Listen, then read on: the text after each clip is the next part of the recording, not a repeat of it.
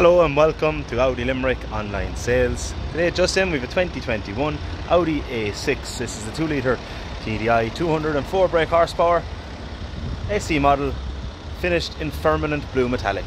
Key features on the car we have our full LED headlights, we have our upgraded diamond cut alloy wheels, chrome detailing around the windows and door frames, front and rear parking sensors and the car is equipped with privacy glass from the factory.